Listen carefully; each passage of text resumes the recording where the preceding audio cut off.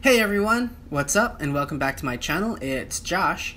I have a rather spectacular reveal, unboxing, sort of initial thoughts um, and feelings about the product review video today. And uh, I, I really don't know what to say. I'm just so giddy and excited about it. Um, I'll show you the bag and then I'll talk a little bit about it.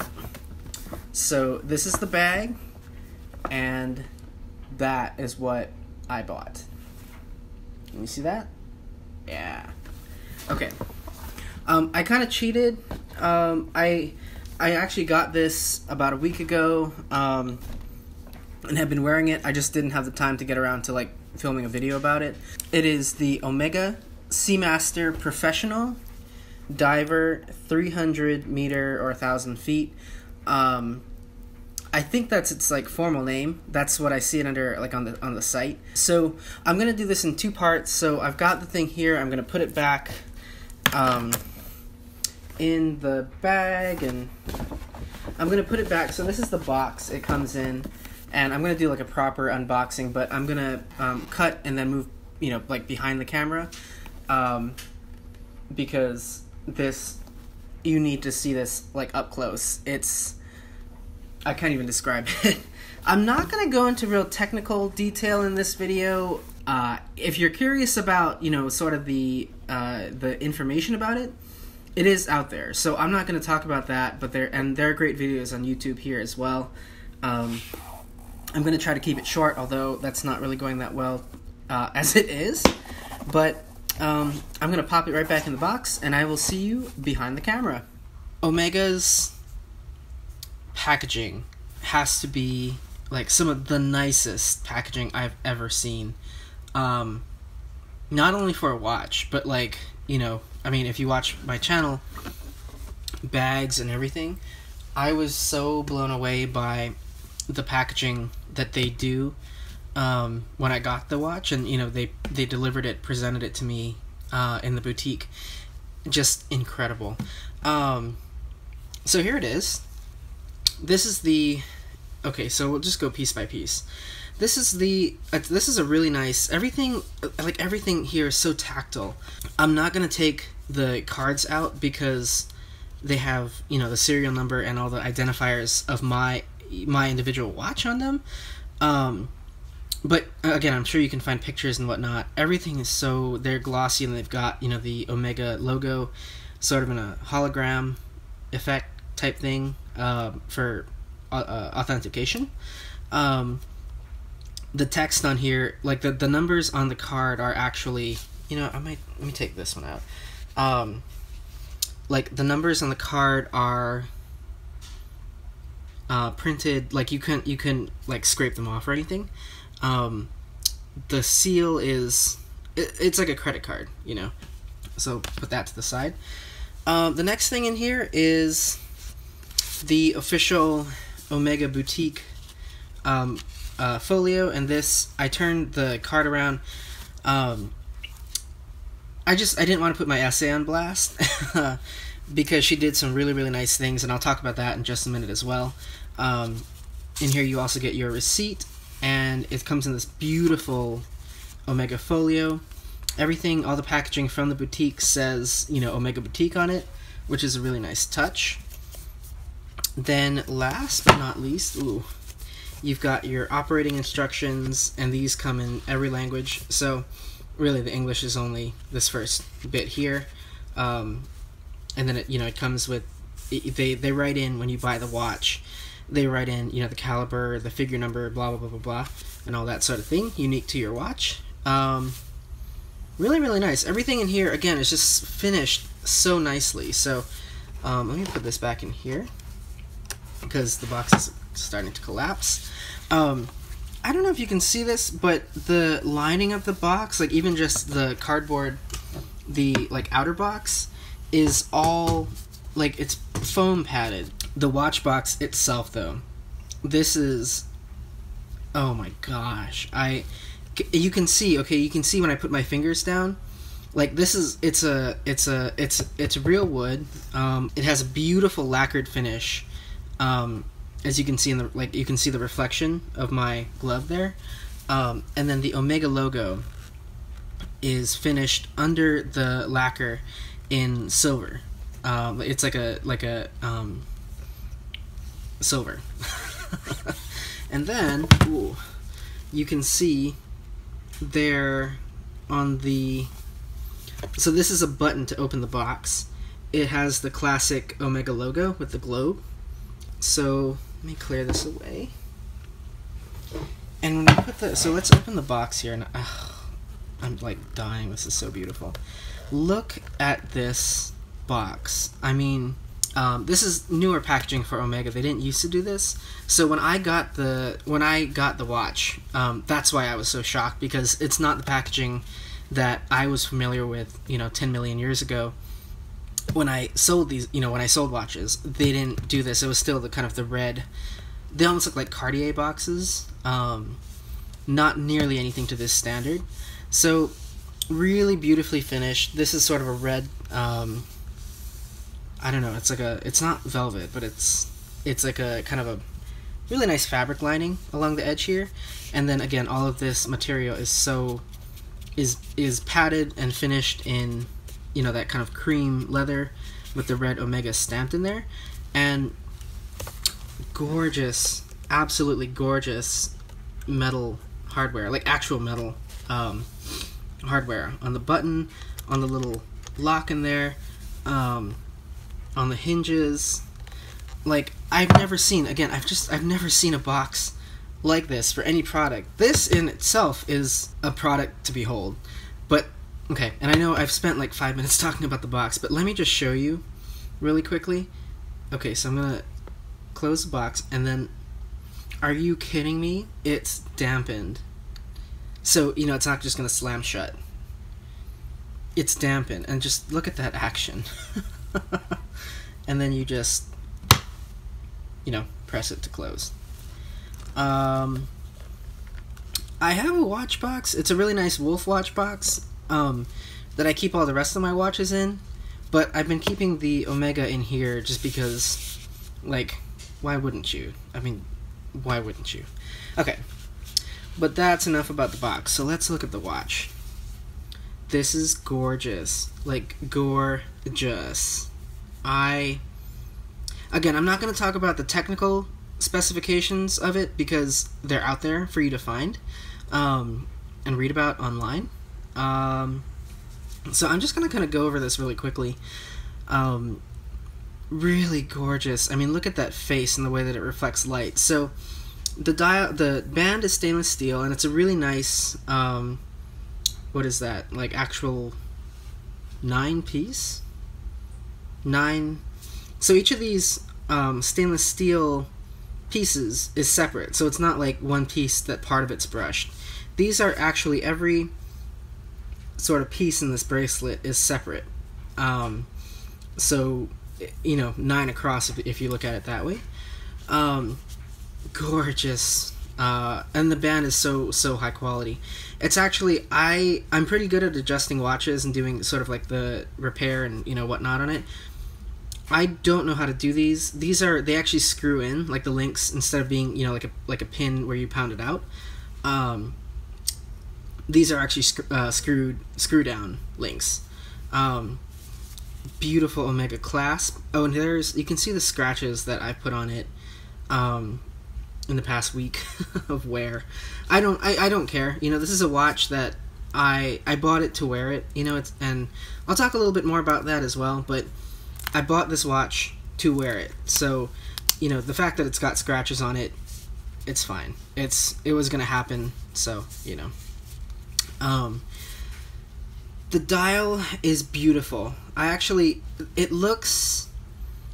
Dare I say it looks plain in pictures until you see it in person, and then you see all the intricate detail on it, and it, you know, all of a sudden it's like that's why it's an Omega. Um, the bezel is ceramic, and all of the little marks, the ticks, and the numbers are engraved in the ceramic.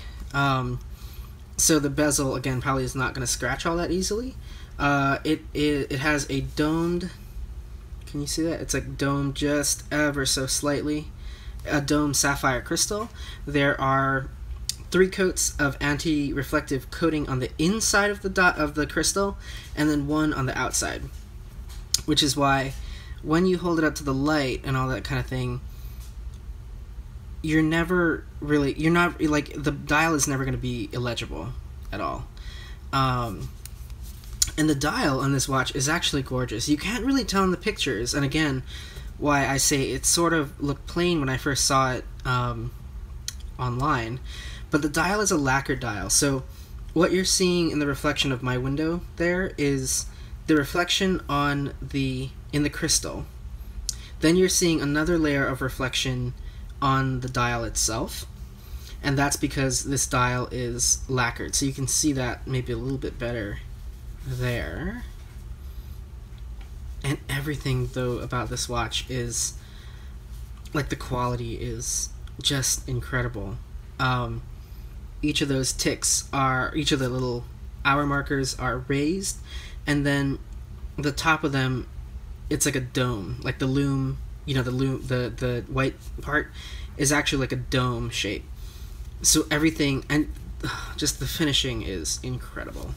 Um, on the face, it says Omega Seamaster Professional Coaxial Chronometer, 300 meters, 1,000 feet. Again, if you want the whole lowdown on the coaxial movement, I can do it. Like, I, am more than happy to talk about it. It'll just be, you know, another, like, hour long video. Um, so let me know down in the comments. I can absolutely do a video talking about the movement in this watch, and I can compare it to other watches that I have. You know, that's that's not a problem. I just didn't want to bore the people who are here to just kind of see the watch, hear about it, um, and that sort of thing. So again, the inside has the Seamaster kind of like the the trademark case on the back. It is a screw down case back, which is awesome. It also has the helium escapement valve, which watch people will say some say it's a gimmick, some say it's it's you know part of the design and part of its timelessness. Um, screw down crown with the Omega logo on there, if you can see that. Uh, just I don't know, absolutely gorgeous. I am so. Again, if I sound not all that excited about it, it's because I've had a week to kind of wear it, you know, bond with it, fall in love with it, and so now I can kind of appreciate it for what it is, you know, rather than freaking out like a little girl about it. Although I was doing that last week. Um, just oh, look at that. Oh. I love it when the dial catches a reflection in some light. It just it just comes alive, sort of in its own. I really also like, you know, the Submariners and a lot of other watches, dive watches, have either a matte finish dial or a sunray dial. I might be in the minority. I really don't like them because I think that they can look cheap if not if they're not done really really well. Um, and so I I love that they went with a lacquer dial because I think it just looks so much more expensive or quality. I don't know. There's something about that dial that just. I'm glad it's not a texture. I'm glad it's not matte, and I'm glad it's not a sunray. I think it's perfect. Um, one last small detail: that 14, the date there. So the there's like a little rectangle around the date window. That's actually like metallic paint, like a metallic finish, and so are the numbers. The numbers are actually silver and not just like you know like a painted on white number. Um, really, really special.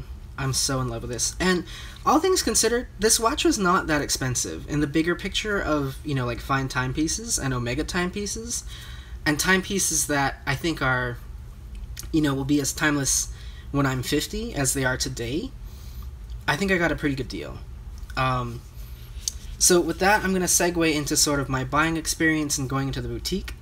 Um, I'm a huge believer in going to the boutique for the item that you're buying. So, whether that is, you know, a Louis Vuitton bag or an Omega watch or a car, you know, if you're going to buy it new, why wouldn't you go to the boutique? Now, I know that, and okay, I don't want that to come off as snobby, but I know that in some places, the city I live in, does not have an Omega boutique. So I had to drive to the nearest one. Um, and I know that that's the case for a lot of places where, you know, you might not have one or it might not be convenient.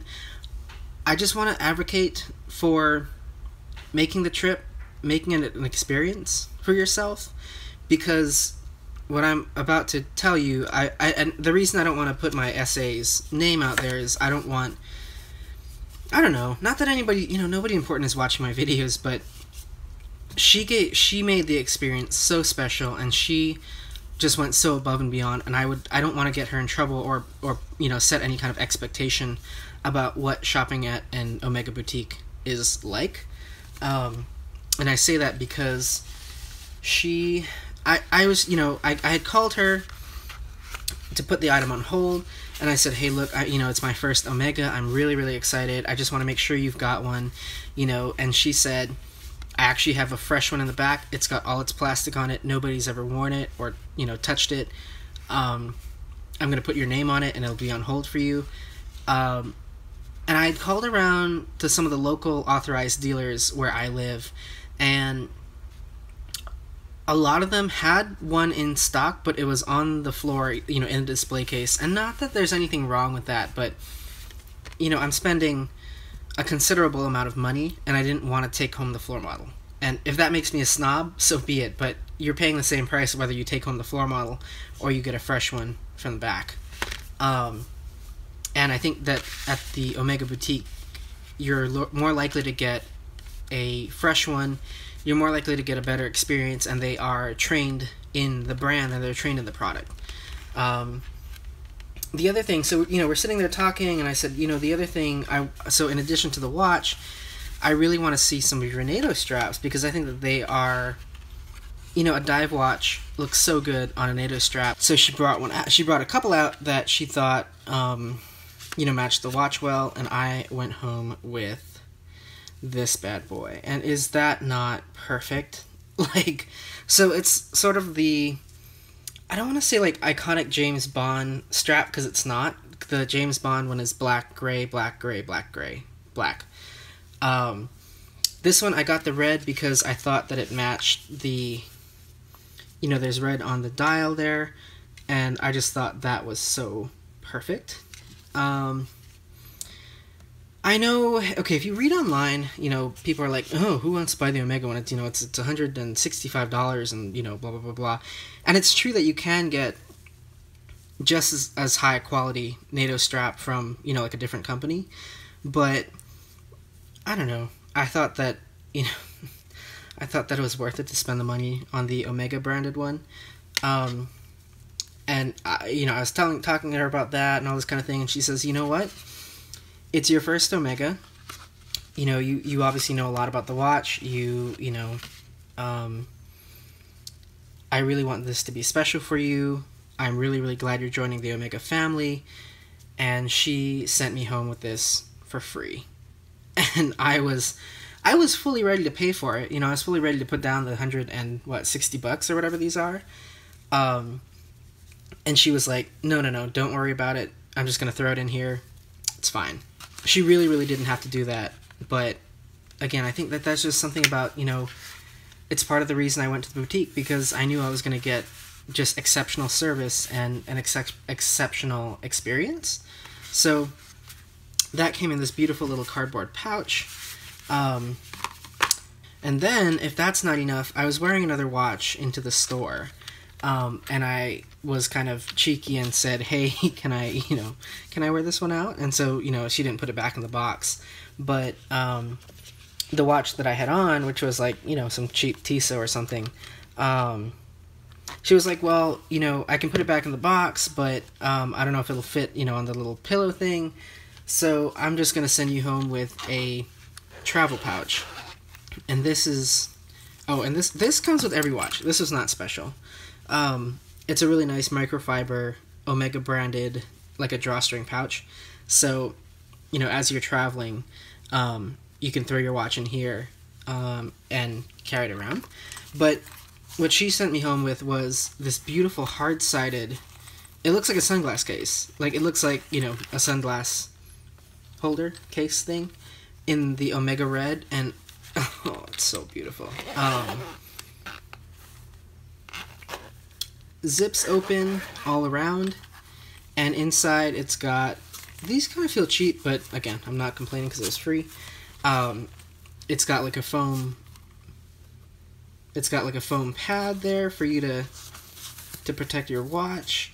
I'm probably just gonna take this out, put this, you know, the Omega pouch in here, and then I can probably also fit. I've got you know like my ring. I have a little drawstring bag that came with my ring. I can probably fit that in there, and I can probably even fit like a bracelet in here too as well. Um, so so so so so grateful for her service, all the things that she you know sent me home with for free. Um, the NATO strap. I could probably actually put the NATO strap in here with that. Um, it's, um, so gorgeous. Um, so yeah, I can probably put all this in here, and then that way, because you know, and I I travel frequently enough that um, having this, you know, like if I wanted to take it off during a flight, if I wanted to, you know, leave it in a bag in a hotel, if I wasn't gonna wear it that day, whatever the reason, just having one little extra layer of security, because you know this is a hard-sided pouch, like it'd be kind of hard to crush this. Um, just having this to keep my watch safe is amazing. And again, I I'm so grateful that she threw that in there. Um, so that's about it in terms of the watch and the experience and everything like that. Um, again, if you want, you know, if anybody wants the whole technical deep dive, I'm more than happy to do that. Uh, let me know in the comments what you think. Um, but again, you know, it's all out there elsewhere for you to see. Um, so yeah, and I will report back on how you know, how it wears, how I wear it, what my experience is. But so far, after a week, I am absolutely, absolutely in love with this. Thanks for watching another video. If you uh, like this kind of video, uh, please feel free to like and subscribe. Um, and thank you to everyone who has liked and subscribed to my videos. It really, really means a lot to me. Um, thanks again so much for watching, and I will see you all soon.